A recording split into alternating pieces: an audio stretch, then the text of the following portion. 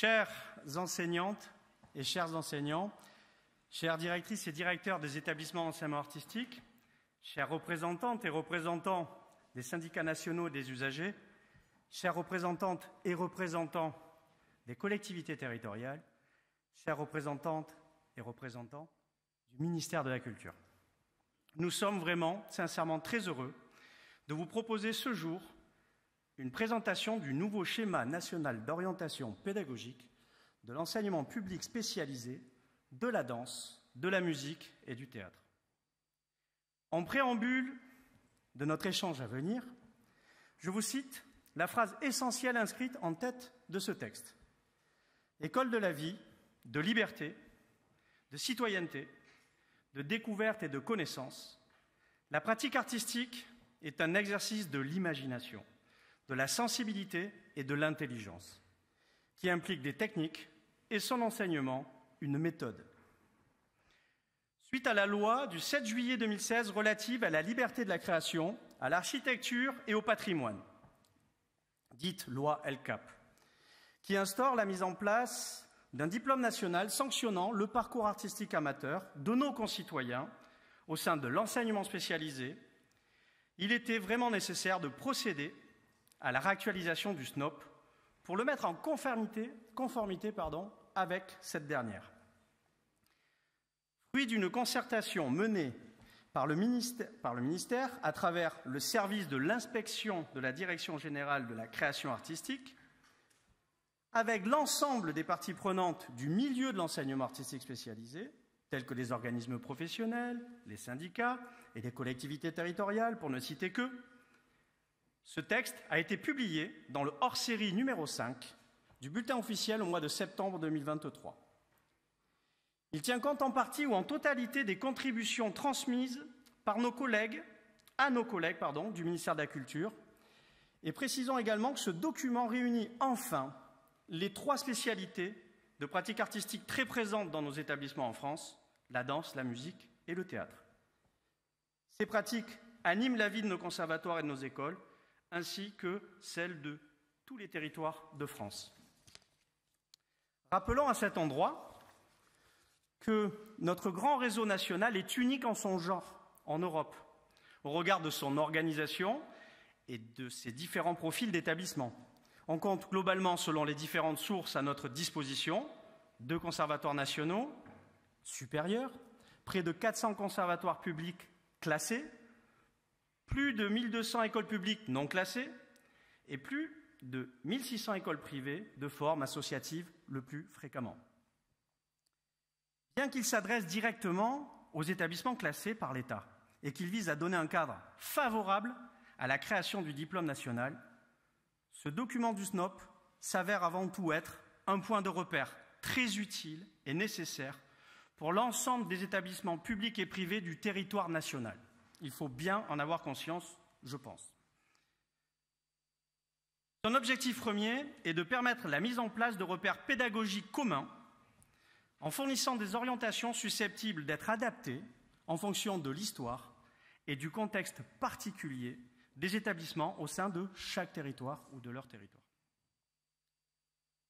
Pour présenter les grands concours du nouveau SNOP, les grands contours du nouveau SNOP 2023, nous avons l'honneur d'accueillir aujourd'hui M. Didier Bram, inspecteur du Collège musique à la Direction générale de la création artistique, accompagné par les représentants de la FFEA sous la conduite de Jennifer Gamerossi, directrice régionale du Conservatoire à rayonnement départemental de Corse, Henri Tomasi. Merci à vous de les accueillir chaleureusement. Jennifer, je te donne la parole. Merci.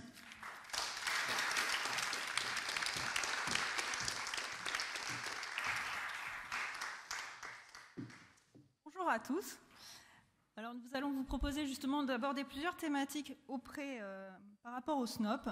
Donc, euh, comme l'a dit notre président, c'est un document qui cadre l'ensemble des établissements, qu'ils soient classés ou non, et qui ouvre plusieurs perspectives.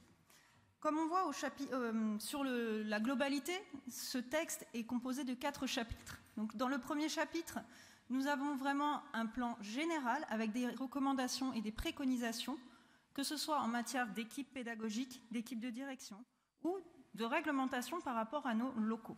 Donc c'est vraiment une trame qui nous permet de nous appuyer dessus. Nous retrouvons aussi un plan pour un projet d'établissement. Dans la deuxième partie, nous rentrons dans les détails pour la danse, la troisième partie, la musique, et en quatrième partie, le théâtre. Des grands axes sont abordés comme la transversalité et la diversité des parcours. J'invite donc nos experts à nous rejoindre, Didier Bréham, Jérôme Chrétien, Dominique Maudry et Alain Baldocchi pour s'installer à mes côtés.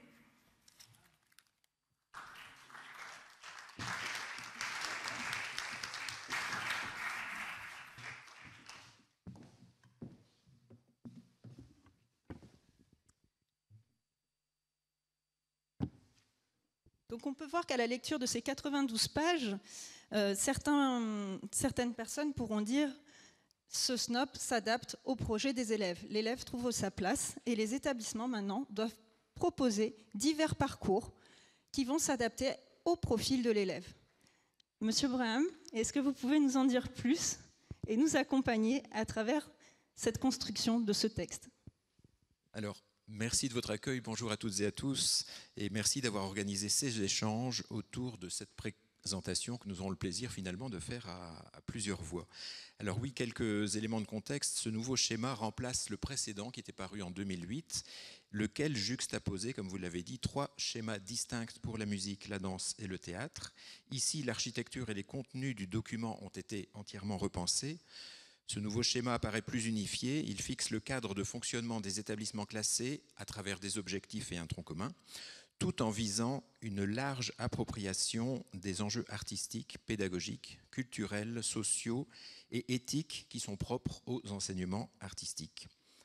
Ce document propose un cadre assez détaillé qui certes s'adresse aux établissements classés, mais peut en même temps apporter des repères, être source de repères donc, et de cadres structurants pour les autres établissements non classés, voire associatifs.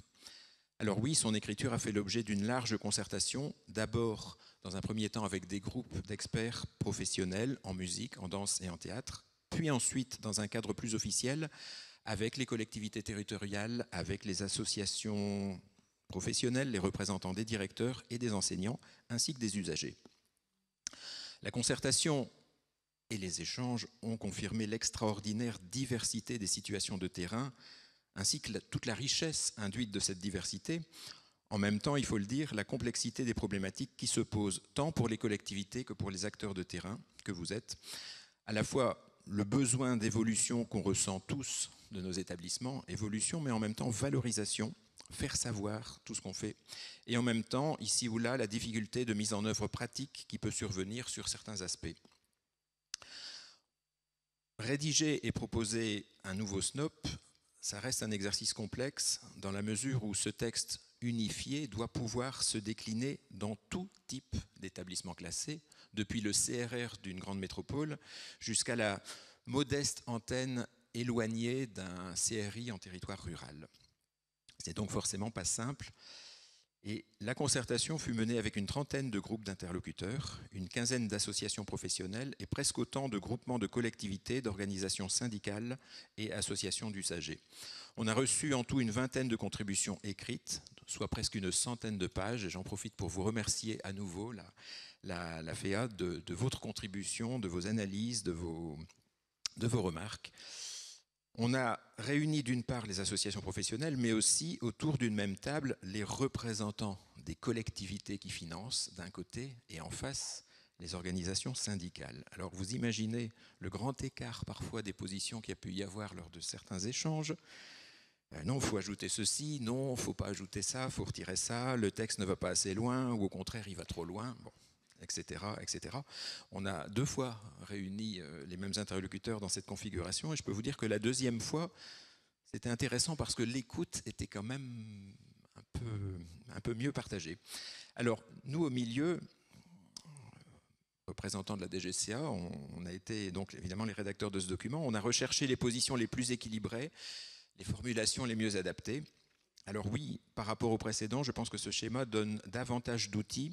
Il a été réactualisé et enrichi sur la base aussi de l'observation des bonnes pratiques, comme on dit, euh, vérifiées sur le terrain et de comment dire, le, souhait de valoriser le partage d'expériences pédagogiques très positives et aussi des évolutions que l'enseignement spécialisé a connues depuis une quinzaine d'années. Alors, on peut, oui, passer à la, vue numéro 3. Euh, ce schéma euh, réaffirme et approfondit de grands principes fondamentaux la notion d'ouverture, la pluralité de l'offre, la diversité des approches, la transversalité, les partenariats, l'inscription territoriale, le croisement des publics. Je ne vais pas tout détailler, mais je vous laisse vraiment le soin de lire euh, en détail ce, document.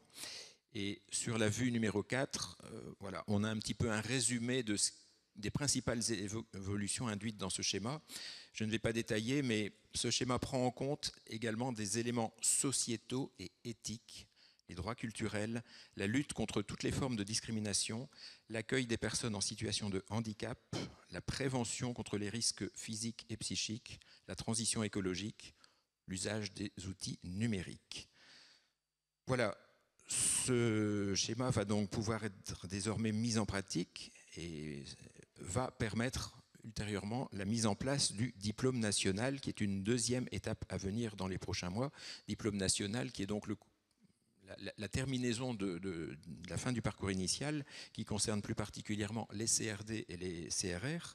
Alors en termes de prochaine étape, nous allons euh, faire une présentation dans chaque région, dans chaque DRAC, des enjeux de ce nouveau schéma. Et pour cela, on invitera les directeurs des établissements classés, ainsi que leurs directeurs des services culturels représentants des collectivités, donc afin de préciser tout ce qui demande à l'être en tant que de besoin et répondre aux éventuelles interrogations.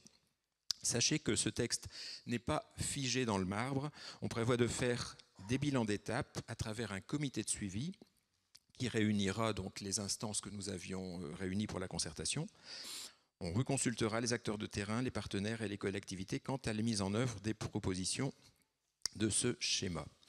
Par ailleurs, pour information, l'arrêté de classement du 15 décembre 2006 va être prochainement modifié ne soyez donc pas étonnés si vous voyez une nouvelle publication de cet arrêté, tout simplement afin d'intégrer quelques éléments du SNOP qui sont considérés comme obligatoires. Il n'y en a pas forcément beaucoup, mais on a euh, différencié tout ce qui relève du schéma qui est certes réglementaire, mais qui est d'une manière générale de l'ordre de la préconisation, de la forte préconisation, et quelques éléments qui sont vraiment obligatoires, bon, disposer d'un conseil pédagogique, euh, veiller à la prévention des risques physiques et psychiques, euh, veiller à une approche inclusive, voilà, j'en cite quelques-uns. Par ailleurs, sortiront, mais pas tout de suite, euh, vers la fin de l'année scolaire, sortiront le décret et l'arrêté du diplôme national, ce qui donnera lieu à un ajustement de l'arrêté de classement afin d'intégrer cette nouvelle dénomination. Alors c'est tout simplement une question de cuisine réglementaire inévitable. Un décret pour le diplôme national, ça doit passer en Conseil d'État, ça prend du temps. Il n'y a, pas que ces textes-là que le Conseil d'État doit évalué en ce moment. Donc il faut prendre son tour. Donc c'est la raison pour laquelle on n'a pas voulu attendre que ce nouveau décret euh, diplôme national euh, soit sorti pour sortir le SNOP. On a préféré quand même le, le sortir tout de suite. Alors peut-être quelques mots rapides concernant l'intérêt d'un classement. C'est d'abord un classement d'établissement demander le classement de son établissement, le faire classer, c'est d'abord l'adhésion à une charte, je dirais l'adhésion à des valeurs, à un cadre structurant. C'est aussi une manière de mobiliser l'équipe dans un cadre pédagogique qui permettra à chacun de trouver des repères communs et partagés. Le premier niveau de classement, CRC-CRI, n'entraîne pas forcément un impact de contraintes si élevé. Cela étant, il faut quand même un minimum en termes d'effectifs et d'offres pratiques collectives tout à fait efficientes et également en termes de qualification des personnels. Les contraintes sont plus prégnante, évidemment, si vous avez l'ambition d'être euh, CRD ou CRR. Et les avantages d'un classement se mesurent sur le plan politique en termes d'image auprès des publics. C'est un gage de qualité et d'attractivité. Euh, l'éventail de l'offre est également euh, un, vecteur d'attractivité, de même que le rayonnement sur le territoire. Et également sur le plan fonctionnel à travers le cadrage pédagogique structurant qui est proposé aux équipes. C'est vrai que le classement est parfois vécu comme une contrainte, notamment pour euh, les gestionnaires RH euh, ou DGS des collectivités. Cela étant, on a constaté l'effet levier du classement pour maintenir des emplois qualifiés dans nos établissements et son effet protecteur dans la durée pour préserver la qualité de l'enseignement. L'échéance du renouvellement d'un classement et l'enjeu de son maintien ont souvent généré un surcroît d'efforts budgétaires. Ça n'est jamais inutile par les temps qui courent. Voilà, je vous remercie euh, encore une fois de votre accueil et j'écouterai avec le plus grand intérêt le regard que vous portez les uns et les autres en tant que chef d'établissement sur ce document. Merci beaucoup. Alors, justement, pour euh, rebondir sur ce que vous disiez par rapport au classement et l'intérêt des classements des établissements, euh, sur certains territoires, il est important de classer et d'avoir une image par rapport à son public.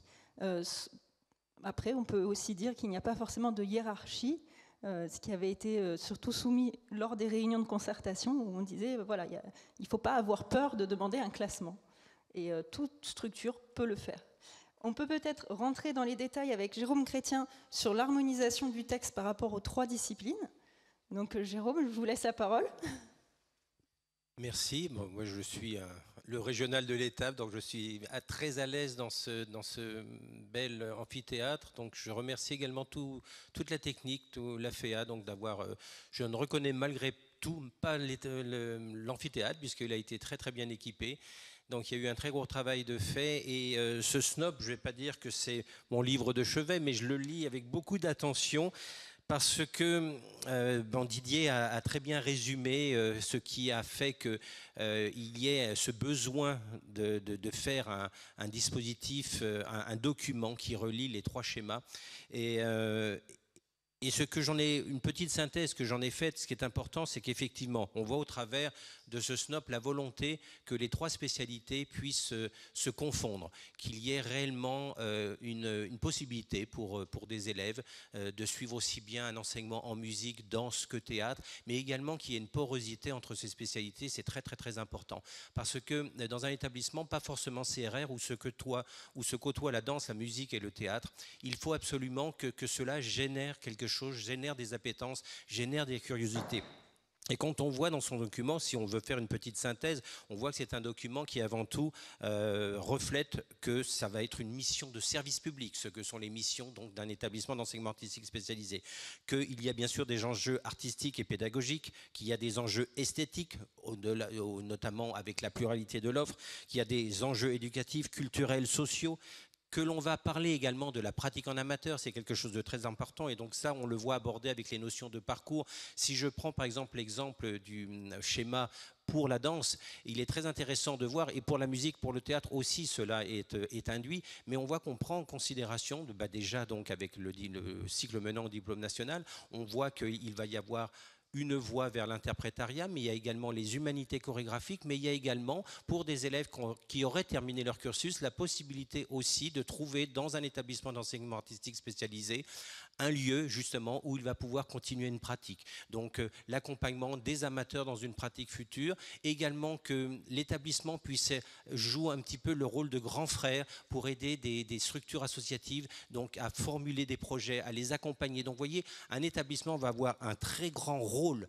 sur le territoire et également quand je vois la thématique de ce, de, ce séminaire de la FEA, enseigner l'art, un projet pour la société, on se rend compte qu'un établissement d'enseignement artistique son territoire est un établissement qui a une vocation qui va au-delà de seulement enseigner ce qu'est un art. C'est un établissement qui est là pour justement créer de la citoyenneté, de donner la parole à des minorités. C'est vraiment ça, je pense, pour moi, l'essentiel. Nous ne sommes pas que des antichambres pour l'enseignement supérieur. Certes, certains de nos élèves pourront accéder à l'enseignement supérieur, mais également nous permettons à tout à chacun de voir qu'il peut créer, inventer, innover. Concernant les contraintes maintenant, s'il y en a, euh, les impacts euh, sur du SNOP, il est évident que euh, nous avons la chance ici, je remercie encore le Grand Avignon, de nous avoir doté d'un établissement où nous pouvons, pour la danse par exemple, nous avons pléthore de studios de danse très bien équipés. Au niveau du théâtre, nous avons des conventions que nous passons donc avec des théâtres, étant donné que nous sommes dans la ville du théâtre. Donc ça, c'est quelque chose qui permet aux élèves de, aux élèves de bien s'épanouir. Au niveau de la musique, nous avons tous les, moyens qui nous sont mis, ressources humaines, euh, parc instrumental, qui permet donc de se réaliser au travers d'une pratique artistique. Mais c'est vrai qu'il va falloir maintenant reconsidérer aussi tout ce qui va être l'aspect d'autonomie chez les élèves, puisqu'il va falloir aussi permettre à, des élèves de créer place libre à l'élève dans, justement, au moment donné, quand il va devenir autonome, quand il n'a plus besoin réellement de son tuteur, comment il va pouvoir aussi être accompagné. Donc c'est vrai qu'il va falloir avoir une structuration importante de nos équipes, de nos emplois du temps, et cela va obligatoirement donc générer donc de la ressource humaine complémentaire.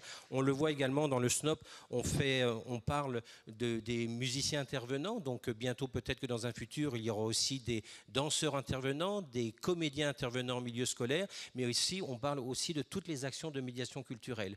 Et ça, c'est quelque chose de, de primordial. Euh, un conservatoire aussi doit être, euh, là je salue d'ailleurs euh, mon collègue Monsieur Combier qui est sur l'élargissement des publics, nous devons absolument travailler sur l'élargissement des publics, c'est quelque chose de très très important.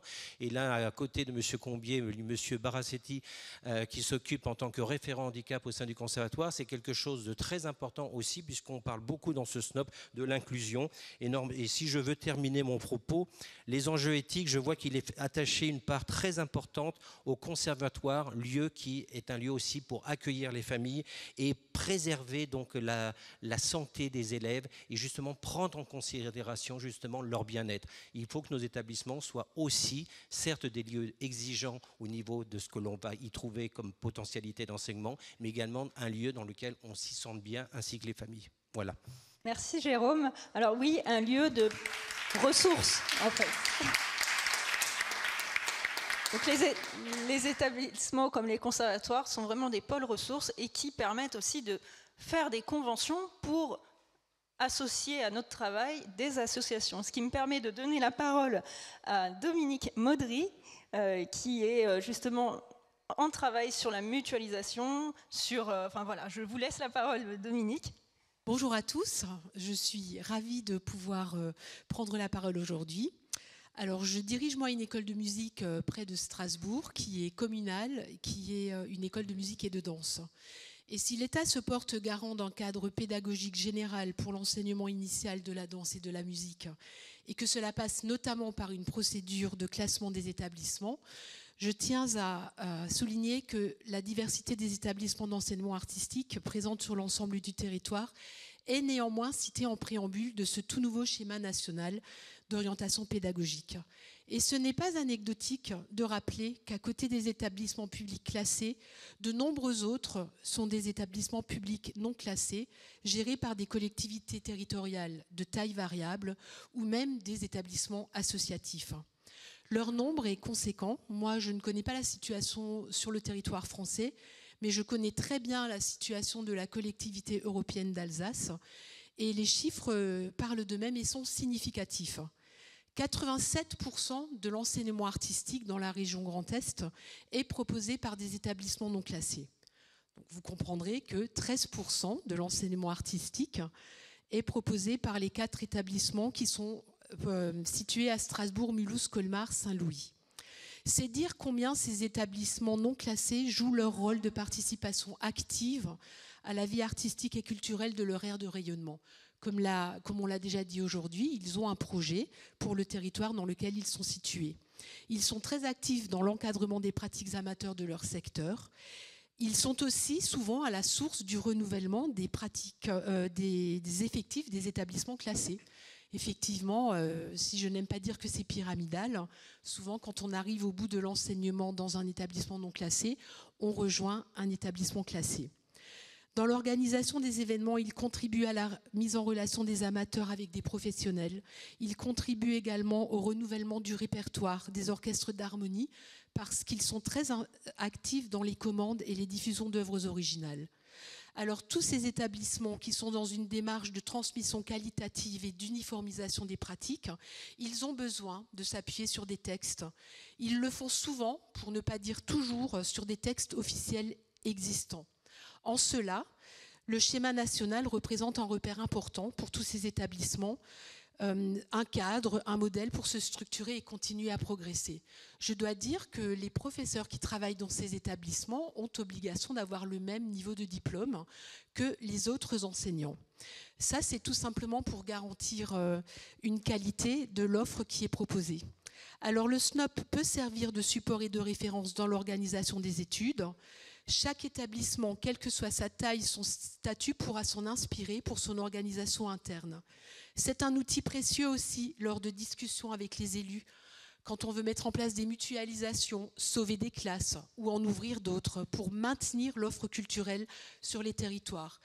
On parle d'établissements classés. Nous, euh, dans nos petites régions, euh, on parle aussi d'offres de proximité. Et cette offre de proximité, elle se fait aussi grâce à ces établissements non classés.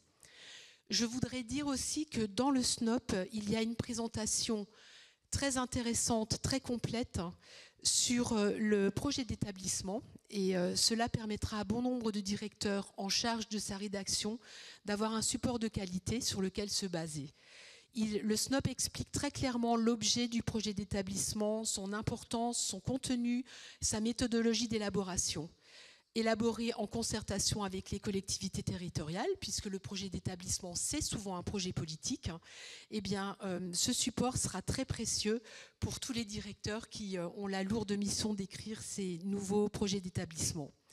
En conclusion de mon propos, je voudrais dire que si ce, nouveau document est très important pour les établissements classés, il ne le sera pas moins pour les établissements non classés. On parle d'uniformisation de la transmission et de la qualité aussi. Et je voudrais dire aussi qu'il n'est pas moins important que les établissements non classés soient cités dans ce document. Merci. Merci Dominique. Alors voilà, on parle de l'harmonisation, on parle de transversalité, on parle aussi de AC. Est-ce que euh, Alain, tu peux parler un petit peu de tout ce que tu as pu euh, regarder, observer, puisque nous avons tous participé justement aux contributions aux côtés du ministère, et le volet de l'EAC est quelque chose de très important. Oui, alors euh, déjà bonjour à toutes et tous et merci de, me donner la parole. Alors, le AC, évidemment, est une composante aujourd'hui complètement intégrée aux établissements d'enseignement artistique. Et euh, je dirais presque aujourd'hui, c'est une pensée que j'ai, et je ne sais pas si aujourd'hui beaucoup de, personnes la partagent, mais l'enseignement artistique spécialisé, je considère que c'est une composante de l'enseignement artistique et culturel, de l'éducation artistique et culturelle. Et en ce sens, elle est spécialisée, mais elle est très importante. Je pense que dans nos chiffres, c'est important de valoriser aussi le fait qu'au conservatoire, on apporte cet enseignement qui permet d'aller vraiment très loin, qui permet comme le disaient certains de mes collègues, d'ouvrir vraiment les esprits, de construire aussi une question de citoyenneté. On aura d'ailleurs l'occasion dans le congrès de parler euh, de la question de la citoyenneté euh, à travers euh, l'enseignement artistique. Donc c'est une dimension extrêmement importante. On a souvent l'impression de faire le grand écart entre les deux, entre l'enseignement artistique spécialisé et l'éducation artistique et culturelle, mais c'est quelque chose qui, voilà, aujourd'hui, avec, avec les musiciens intervenants et peut-être les futurs danseurs intervenants ou comédiens intervenants, qui, va se qui, qui doit se développer de manière aussi, certains de mes collègues le disent, de révéler des talents euh, et les, amener aussi euh, à l'intérieur d'un établissement. Et donc cette dimension euh, dans le schéma national d'orientation pédagogique est évidemment présente. Je pense qu'elle est indissociable de, de... Pardon? Et puis après, on trouve d'autres évolutions aussi positives. oui, voilà. Que tu as pu, enfin, que tu as pu relever. Alors voilà. Et alors en fait, le, on peut dire que enfin, la, la, la, FFA a vraiment travaillé de manière extrêmement approfondie sur les différentes versions du texte, depuis la première version qui nous était arrivée et sur laquelle nous avions euh, réagi. Euh, on a eu ensuite la version euh, au mois de mars 2023, puis celle du, mois de mai jusqu'à la publication finale.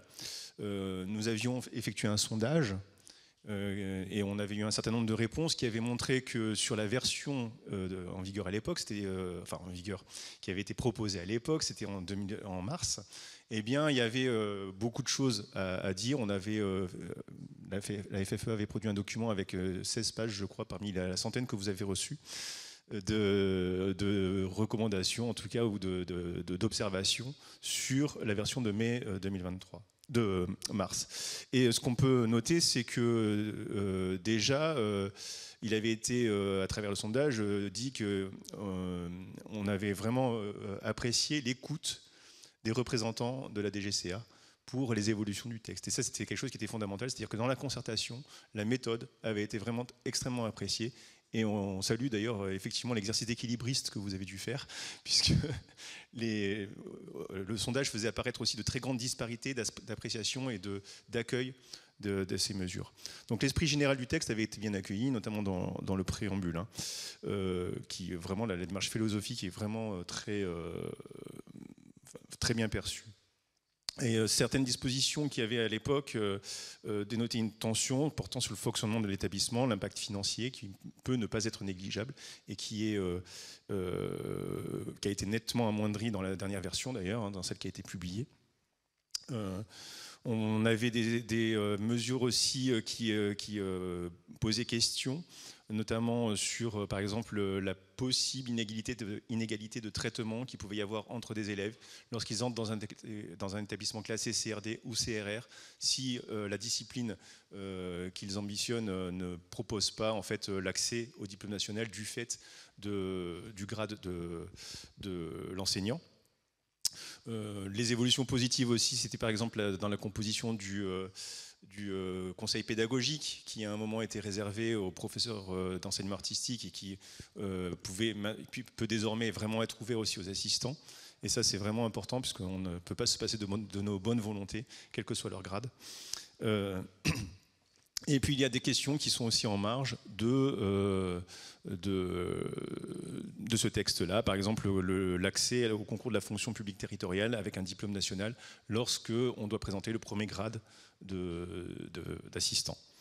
Euh, voilà les zones, aussi euh, sur, lesquelles il y a des, interrogations. Aujourd'hui, c'est par exemple l'articulation entre le diplôme national et euh, le cycle de préparation à l'enseignement supérieur, les modalités de transfert entre les établissements, le fait de présenter à plusieurs euh, entités, plusieurs établissements euh, les épreuves du diplôme national, qui peut, dans certaines, euh, dans certaines configurations, surtout avec les instruments rares, poser des problèmes de, soit de déplacement des jurys, soit d'élèves. voilà, la question du positionnement du diplôme aussi par rapport aux, critères d'entrée dans l'enseignement supérieur, sachant qu'il y a par exemple dans les deux CNSM aucun prérequis de diplôme, par exemple. Euh, voilà un petit peu, de manière extrêmement globale, euh, les questions qui se posent aujourd'hui, avec des évolutions qui ont vraiment été saluées. Et euh, qui, aujourd'hui, on est dans cette phase préparatoire de, la mise en place du diplôme national, en particulier dans les CRD et les CRR. Et on va être confronté dans le dur à cette question-là et donc au fonctionnement. Et c'est là qu'on va vraiment voir aussi quelle va être la portée de notre, de notre action. Voilà. Merci beaucoup Alain. Euh, effectivement, plein de questions. Euh, on vous invite vraiment à lire euh, le SNOP, que, que, vous soyez enseignant ou directeur, ou même simplement usager, parce que dedans, il y a beaucoup d'outils. Beaucoup d'outils, beaucoup de réponses à nos questions. Et en tant que directrice d'un conservatoire dans un milieu rural, puisqu'il n'y a qu'un seul établissement classé, en tout cas sur l'île de Beauté, il y a aussi des passerelles proposées. Ce sont des recommandations dont, en tant que chef d'établissement, nous devons nous saisir pour faire évoluer ce qui se passe dans nos territoires et, je dirais, permettre à nos élus, donc le côté politique, de s'accaparer ce SNOP pour nous donner les moyens d'agir sur nos territoires. Donc euh, maintenant, on va pouvoir laisser euh, quelques questions dans la salle aussi euh, en streaming. Alors pour les questions de streaming, je tiens à, préciser qu'il y a des modérateurs et qu'on répondra aussi aux questions plus tard. Donc je laisse d'abord la parole à la salle pour toute question à nous, ici. Il y en a.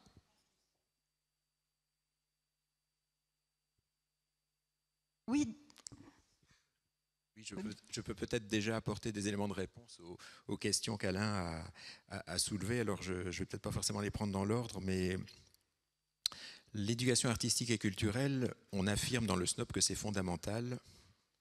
C'est relié avec l'enseignement artistique spécialisé, c'est complètement relié.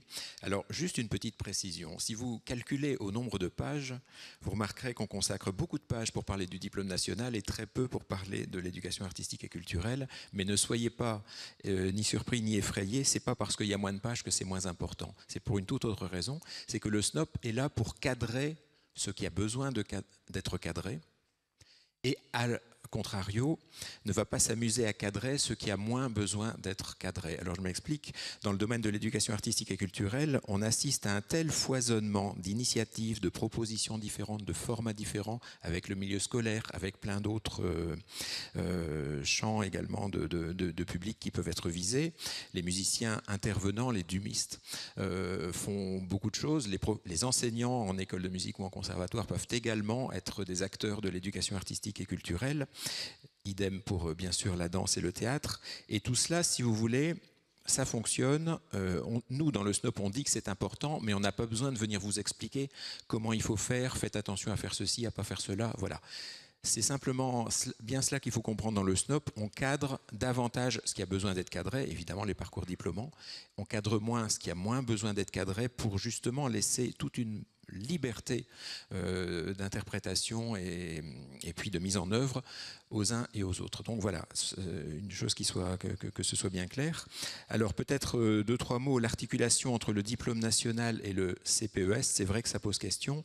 Alors il n'y a pas une même réponse unique pour la musique, la danse et le théâtre, parce que tout simplement, en danse, on s'adresse à des publics d'âge différents. Hein. Quand on a l'ambition de devenir professionnel en danse, il faut être très jeune, donc il y a l'obligation de cours collectifs, d'internat, etc., etc. Donc c'est quand même assez différent du parcours euh, diplômant. En revanche, en musique et en théâtre, il y a beaucoup de points communs. Euh, le diplôme national, c'est 600 heures pour la musique, c'est 750 dans le CPES, et comme c'est expliqué dans un paragraphe à un moment donné dans le schéma musique, il y a à un moment donné de leur parcours, les élèves qui sont en euh, parcours diplômant, qui s'appellera donc le diplôme national, à un moment donné, certains d'entre eux pourront être en même temps également dans le CPES. Il y a une forme de tuilage. Bon, c'est expliqué en quelques phrases. Donc euh, voilà, ne soyez pas effrayés, c'est quelque chose qui, qui, qui, qui, va tout à fait euh, s'articuler. Alors je dirais que concernant l'organisation du diplôme national, on a quand même déjà aujourd'hui beaucoup de recul sur toutes les régions qui ont mis en œuvre euh, le CEPI en, Nord-Pas-de-Calais et en Poitou-Charentes. Jérôme, ici à mes côtés, a été un des acteurs de la mise en œuvre de, ce DNOP et avec euh, évidemment un bilan très très positif. Donc quand on a écrit euh, le, cadrage de ce diplôme national, on s'est à la fois basé sur cette expérience réussie, sur le, bilan de cette expérience, mais également sur celui de la mise en œuvre de DEM inter-établissements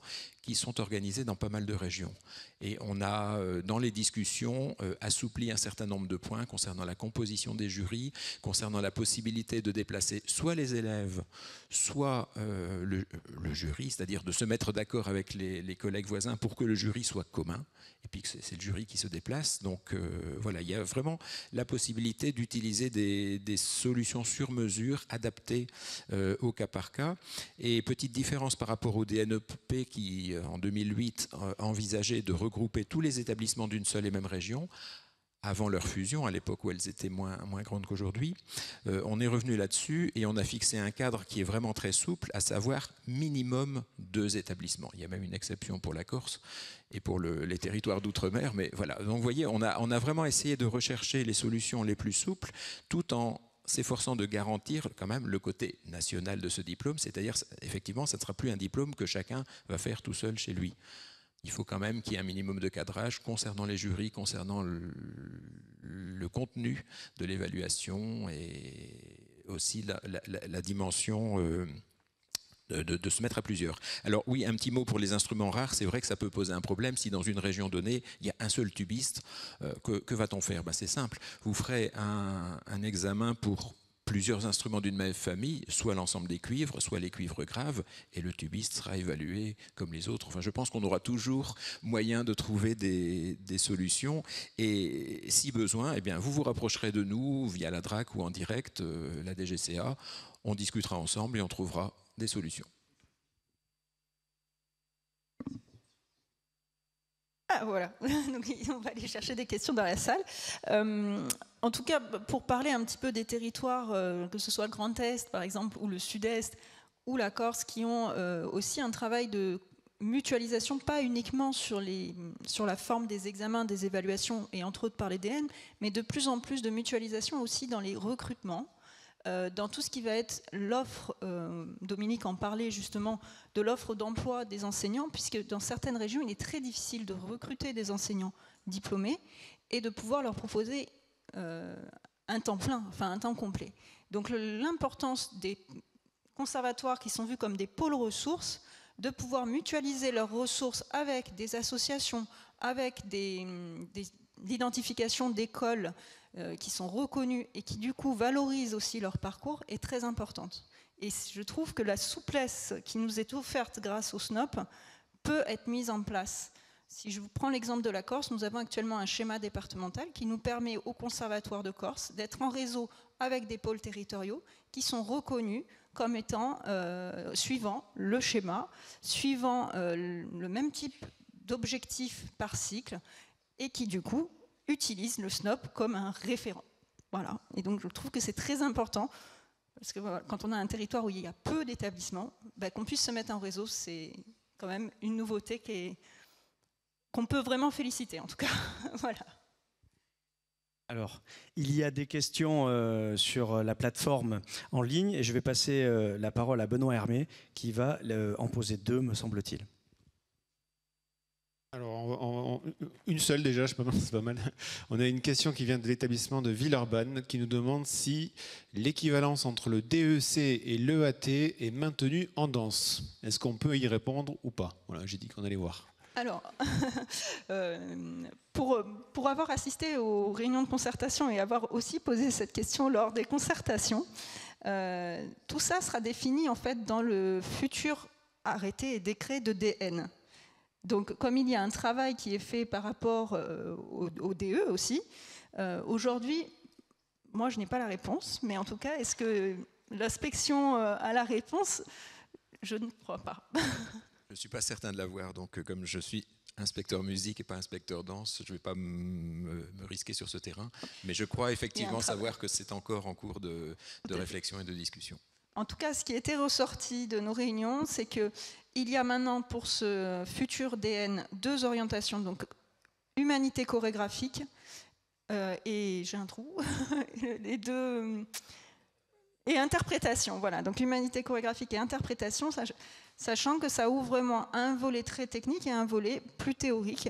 Et il nous avait été dit clairement qu'un euh, des deux n'était pas du tout l'équivalent de l'examen d'aptitude technique actuel, alors qu'actuellement, le DEC est l'équivalent de l'examen d'aptitude technique. L'autre était en discussion. Voilà. Donc aujourd'hui, on attendra le décret voilà, d'ailleurs, pour compléter, les élèves qui seraient dans le cycle menant au diplôme national, qui voudraient aller vers un cursus préparatoire à l'enseignement supérieur, il leur aurait conseillé d'aller plutôt vers le module interprétation. Une seconde question sur la plateforme, et je passe à nouveau euh, la parole à Benoît. Elle concerne la danse, me semble-t-il. Oui, tout à fait. Elle concerne la danse. Alors, euh, c'est l'école de, musique des Pieux au Cotentin. Alors la question, il s'excuse presque de la poser, euh, ça concerne la température, puisqu'il y a une histoire de limite de température dans les établissements à 19 degrés, qui peut poser question effectivement en ce qui concerne les pratiques, notamment de la danse. Donc l'école de musique nous interroge en, nous demandant si cette euh, obligation, on va dire, aura une valeur légale dans un contexte où les collectivités sont de plus en plus exposées malheureusement à la baisse de leur euh, température. Alors, pardon, pas de la baisse de la température, mais de veiller voilà, au respect du budget quant euh, à l'utilisation euh, du chauffage dans les établissements. Alors, cette question avait été aussi posée euh, lors des réunions de concertation, et il faut savoir que le SNOP est un texte de préconisation qui va nous permettre, en tant que chef d'établissement, de nous appuyer dessus, mais il n'a pas le sens d'obligation. Maintenant, c'est pour permettre, comme nous n'avions aucun texte pour la danse qui définissait les températures tolérables, je dirais, dans les établissements et que c'était au bon sens euh, des équipes, euh, il est important de rappeler qu'il est impossible de danser en dessous de 13 degrés. voilà, qu'on soit clair. Euh, il est impossible, et, pour tout vous dire, dans les bureaux, vous n'avez pas 13 degrés non plus. Il arrive très souvent dans des établissements que les salles de danse descendent à des températures extrêmes et qu'il est voilà, il faut pouvoir s'appuyer sur un texte. Et l'avantage du SNOP, c'est qu'il y a maintenant un cadre qui nous est proposé en disant voilà, euh, la température idéale de la salle est aux alentours, enfin entre 19 et 23 degrés. Il est évident que les cours de danse ne peuvent pas se faire dans une salle qui est à 35 degrés, ce qui peut arriver aussi.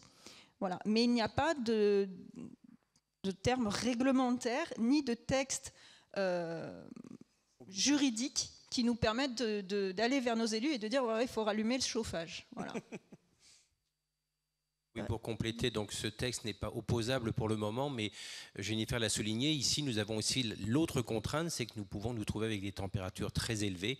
Donc là, nous, au Conservatoire du Grand Avignon, les cours sont adaptés, c'est-à-dire qu'ils commencent plus tôt dans la journée, puisque le bâtiment où il y a les tuyaux de danse est classé, donc il y a un, dispositif qui n'est pas réellement euh, de l'air conditionné, donc on est obligé d'adapter. Euh, et là, quand il y a eu des températures euh, très froides il y a certains temps, on a rehaussé les dispositifs, on a mis de nouveaux, nouveaux, dispositifs de chauffage. Et là, il y a un très grand travail qui va être entrepris à partir de janvier 2024 sur ce site pendant à peu près 104 semaines pour faire qu'il y ait un chauffage et un conditionnement d'air qui soient les plus optimums.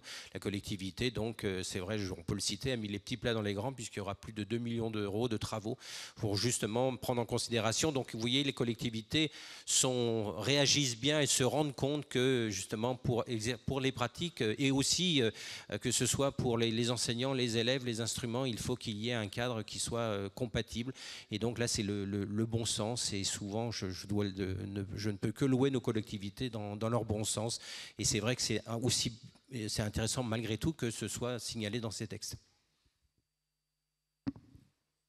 Y aurait-il des questions dans, dans la salle, par exemple?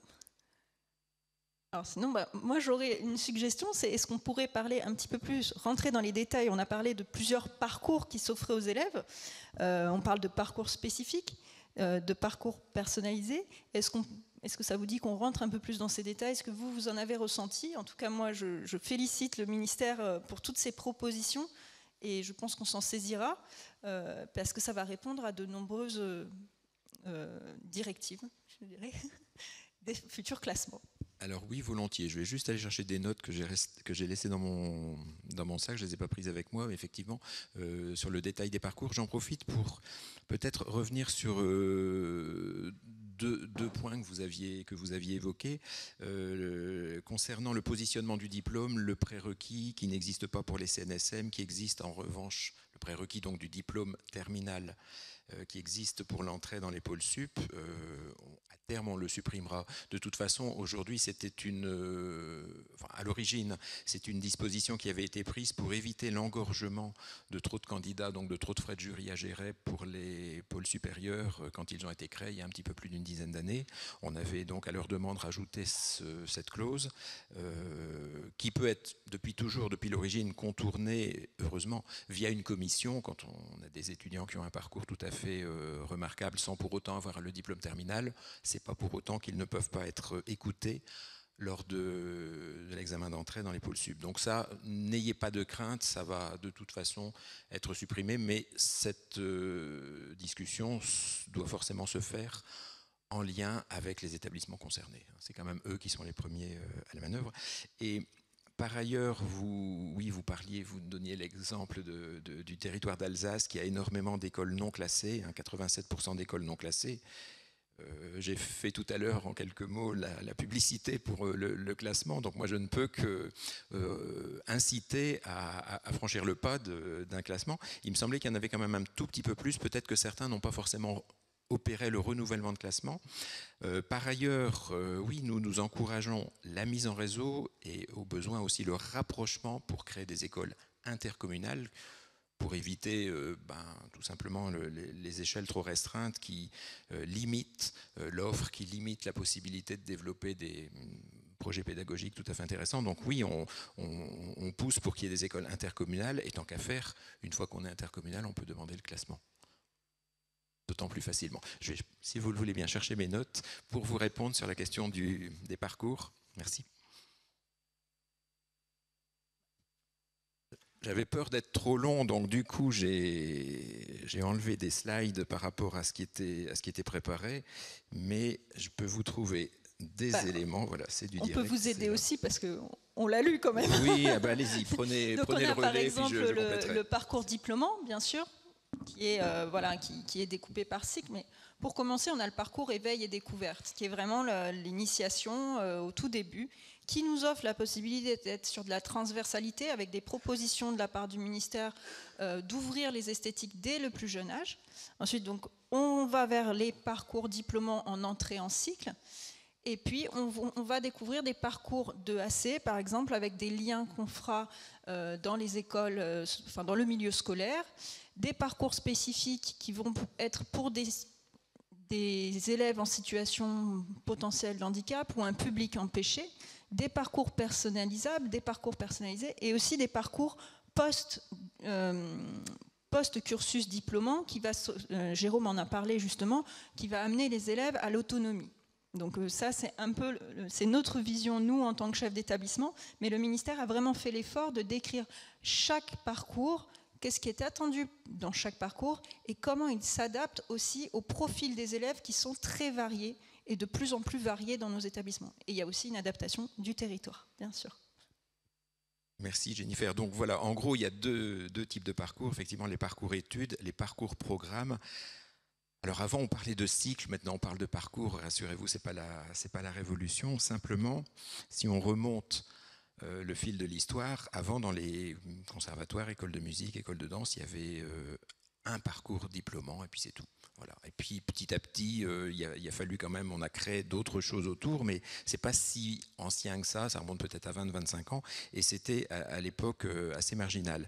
Et ces parcours euh, autres, je ne vais pas dire alternatifs, on les a parfois appelés hors cursus, qui étaient plutôt dévalorisants, ces parcours ont pris de l'importance, donc on a, on a vraiment souhaité apporter de la clarification à tout cela, donc les parcours études d'une part, les parcours programmes d'autre part, donc oui Jennifer, vous les avez un petit peu euh, énuméré, donc éveil initiation, un parcours ouverture pour des adultes qui souhaitent aborder tardivement une pratique artistique, parcours de pratique continuée pour les élèves qui ont achevé leur parcours études et qui souhaitent faire un renforcement à un moment donné, bien sûr les partenariats avec l'éducation nationale pour les élèves en milieu scolaire, des parcours scéniques pour des groupes ou ensemble d'élèves qui veulent s'engager dans l'expérience de la scène, parcours compagnonnage, alors là ça peut parfois être pour des équipes amateurs, y compris notamment en théâtre, hein, euh, des équipes amateurs constitués qui cherchent à consolider ses moyens artistiques. Ça peut être aussi des groupes euh, de musiques actuelles, par exemple, mais pas seulement. Et bien sûr, tout ce qui est parcours personnalisé ou parcours projet que les établissements sont invités à proposer dans la mesure de leurs moyens, dans la mesure de leur organisation. Enfin, tout cela, c'est euh, toute une série d'idées qui peuvent être, euh, bah, qui sont proposées dans le SNOP. Et à noter aussi pour le théâtre, c'est un petit peu une nouveauté, un parcours découverte qui s'adresse à des enfants de 8 à 14 ans et qui est construit en trois phases, dont la dernière, qui s'appelle Découverte de l'art de l'acteur, peut servir de passerelle vers le parcours études. Le parcours études, un petit mot quand même. Euh, voilà, on, tient quand même à rappeler que c'est quand même quelque chose de fondamental. Alors, entendons-nous bien, fondamental, c'est pas, il n'y a pas de hiérarchie, mais euh, on, souhaite quand même que ces parcours soient maintenus pour toutes sortes de raisons, et y compris parce qu'on a encore des élèves qui ont envie d'aller assez loin quand même, parce qu'ils sont extrêmement motivés par leur apprentissage artistique. Merci. Il y a une question sur le net. Exactement, donc je repasse la parole à Benoît Hermé. C'est une question qui émane du conservatoire de Chalon. Alors je vais peut-être vous la lire telle quelle. Euh, l'examen d'entrée dans le cycle menant au DN en musique et en théâtre est clairement précisé dans le contenu et le déroulé. Qu'en est-il pour la danse? Ce n'est pas aussi explicite. Euh, il me semble que dans le chapitre 2, euh, spécifique à la danse, il est expliqué euh, un peu plus en détail l'entrée en cycle. Et pareil, je pense que dans, le, dans la parution du DN qui sera faite dans quelques mois, ce sera encore plus détaillé. N'est-ce pas, Didier? Non, parce c'est pour la danse. Non, c'est vrai Donc que ce sera Jérôme. On, on l'avait remarqué, mais tu viens de citer le passage justement dans, dans le, dans le bouquin Snop où il se trouve. Euh, il, faut, il faut attendre justement euh, le, le décret, l'arrêté. Et à l'heure actuelle, il faut bien rappeler que pour rentrer dans ce cycle menant au diplôme national, on est sur euh, l'équivalent toujours du BEC, donc avec les vidéogrammes transmis par le ministère de la Culture, donc les variations de fin de deuxième cycle. Et là, c'est vrai que certains établissements rajoutaient un, un passage en collectif. Ça peut être quelque chose à encourager parce qu'il est aussi intéressant de voir l'élève euh, pas seulement dans une situation de, soliste, de solo, donc aussi de le voir donc dans un petit groupe chorégraphique, pourquoi pas. Mais là, je pense que à l'heure actuelle, les établissements fonctionnent surtout donc avec. Euh, il y a une homogénéisation qui est faite sur le territoire avec les vidéogrammes donc du ministère de la Culture. Donc je pense que cela va rester, mais après euh, le décret national peut-être apportera quelques précisions, mais encore un rappel accessible à partir de la fin du deuxième cycle.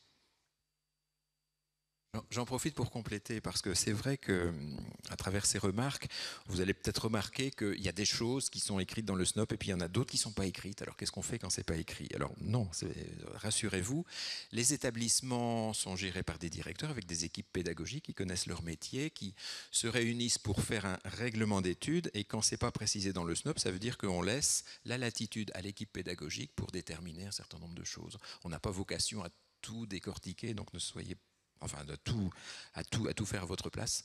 Euh, à, à, on ne va pas non plus tout uniformiser sur le territoire national, il faut garder euh, une marge de, de latitude et de responsabilisation aux équipes. Ça laisse de la liberté au chef d'établissement pour euh, travailler avec ses équipes aussi, il faut le rappeler. Une quatrième question sur le oui. net. Alors donc c'est l'établissement national de musique, de danse et dramatique pardon, de Villeurbanne qui, alors je vous cite Bonjour, le monde de la danse, il me semble, attend beaucoup de la mise en place d'un diplôme d'intervenant en danse. Est-il prévu prochainement une concertation sur ce sujet? Pour des intervenants en danse, enfin, un diplôme d'intervenant.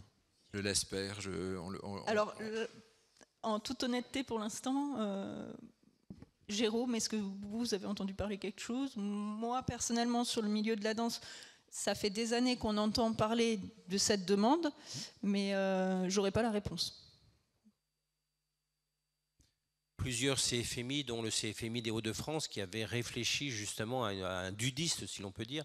Euh, c'est en cours de gestation. C'est vrai que euh, à l'époque, euh, le Conservatoire de Lille avait mis, et existe toujours, un plan ambitieux, le plan musique, danse, théâtre.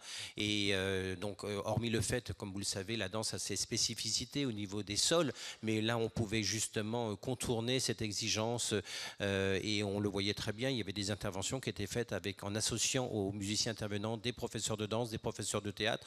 Euh, là, je ne peux pas, euh, voilà, hormis ce, ce, FMI qui est en train de travailler dessus, mais euh, personnellement, j'y serais très favorable puisque ça serait une, ouverture très intéressante sur justement des, possibles, possibilités d'emploi nouvelles et notamment euh, sur des, profils de danseurs qui seraient aussi passés peut-être par les humanités chorégraphiques, qui seraient intéressés par l'écriture, la composition, la chorégraphie. Ça pourrait être des, apports euh, tout à fait intéressants. Cela étant, l'absence de diplôme n'empêche absolument pas qu'il y ait des intervenants danse dans les écoles, moyennant un agrément. Enfin, voilà, il faut aussi, euh, même chose pour le théâtre, hein, euh, les choses peuvent avancer malgré tout par le terrain, parce que créer un diplôme, en plus en lien avec l'université, c'est pas forcément simple. Je, il me semble qu'il y a une question dans la salle, justement. Oui, c'est Michel euh, Durand-Mabir, directeur du Conservatoire rayonnement régional d'Aix-en-Provence. Merci, bonjour tout le monde. Est-ce que les élèves euh, titulaires d'un DN de violon en région, quelle que soit la région, peut en repasser un autre dans une autre région? On a tous connu et j'ai moi-même des élèves qui collectionnent les DEM de différentes disciplines, ce que je, ce que je ne cautionne pas, parce qu'après tout c'est de l'argent public et une fois qu'on a un diplôme, une fois qu'on a le baccalauréat, on ne le repasse pas trois fois de suite. Et est-ce que ce diplôme national sera unique dans la carrière d'un musicien, d'un danseur ou d'un comédien? Didier?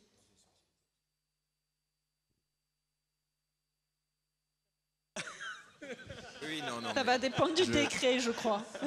Je, je questionne mon, mon, voisin Jérôme sur le DNOP, pas, pas sur le DN. Non, euh, vous, vous, vous, soulevez une très juste question. Euh, en principe, tout est fait pour éviter ce genre de situation. Maintenant, je pense qu'il ne faut pas non plus tomber dans des choses complètement dogmatiques parce qu'il peut toujours y avoir des exceptions. Ce qu'on a remarqué à travers la mise en œuvre du, DNOP en, 2008, et c'est ça qu'on se remémorait, c'est qu'avant le DNOP, avant l'émergence des pôles sup, donc à la fin des années 2000-2010, il y avait effectivement profusion enfin d'élèves euh, dont le parcours, quand on lisait leur euh, CV, montrait qu'ils avaient collectionné des médailles d'or, des DEM droite à gauche, tout cela ça représentait de l'argent public sans pour autant que ça leur donne un diplôme reconnu. Alors, je dirais qu'à la fois l'émergence du DNOP et ensuite du DNSPM, c'est-à-dire avec l'arrivée des pôles sup, franchement, tout cela s'est considérablement euh, régulé et on a beaucoup moins qu'on le voyait il y a 15-20 ans, ce, type de parcours. Pour autant, euh, Michel, vous faites bien de le, le signaler, effectivement, ça peut encore exister. Bon, est-ce qu'il faut absolument légiférer pour interdire ça formellement? Je pense qu'il faut aussi laisser la liberté aux chefs d'établissement euh, de, gérer au cas par cas euh, ce, genre de situation. Moi, je, je serais peut-être gêné je, réagis sur un, comme ça une, idée personnelle, mais je serais peut-être gêné pour qu'on on, soit trop dogmatique parce que parfois dans le parcours de certains élèves, ça pourrait justifier que bon, on a travaillé avec un prof, mais bon, il peut, voilà, ça, devrait rester en tous les cas l'exception. Je, vais me faire un peu le maître du temps maintenant. ah, encore une question? Merci Jennifer. Oui, en fait, c'est juste un complément apporté par Thierry Muller, directeur du Conservatoire de Nice. Juste, une petite réponse à mon copain Michel. Euh, bah, quand des élèves se, présentent dans un cycle spécialisé, actuellement en tout cas, dans un conservatoire, ça passe par nous. Or, euh, moi, si je reçois une candidature de quelqu'un qui a un DEM de violon et qui veut s'inscrire en cycle spécialisé de violon dans mon conservatoire pour avoir un DEM de violon, bah, il ne l'aura pas.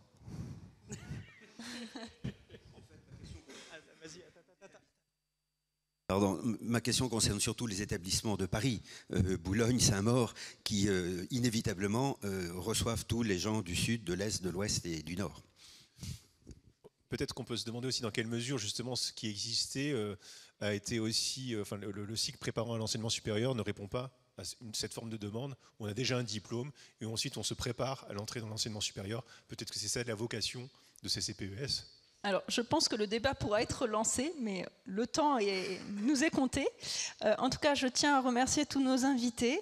Et euh, pour les gens aussi de la salle et qui sont sur le net, invitez tout le monde, si vous avez des questions, à les transmettre par mail à la FEA. Et nous allons créer une FAQ pour euh, répondre au maximum des questions. Bien sûr, quand c'est possible, puisque des questions par rapport au DN, nous ne pourrons pas forcément y répondre. Voilà, nous attendrons les textes en fonction du calendrier que Didier nous a transmis. Voilà. Donc je remercie euh, l'ensemble de nos invités et je vais passer la parole à notre président pour enchaîner avec l'Assemblée générale de la Fédération française. Merci à tous.